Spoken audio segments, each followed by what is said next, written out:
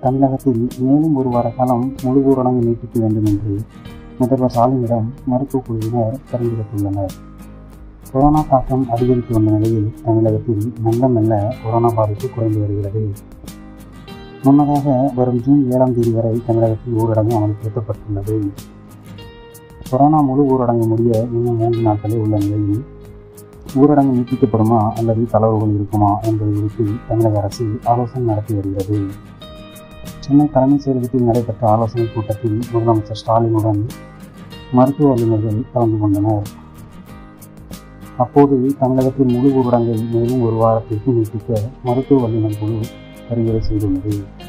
பாதிப்பு குறைந்த மாவட்டங்களில் ஜூன் பதினாலு வரை தளர்வுகளுடன் கூடிய ஊரடங்கும் பாதிப்பு அதிகம் உள்ள மாவட்டங்களில் தற்போது அமலில் உள்ள தளர்வுகளற்ற முழு அமல்படுத்தவும் பரிந்துரை செய்யப்பட்டுள்ளது.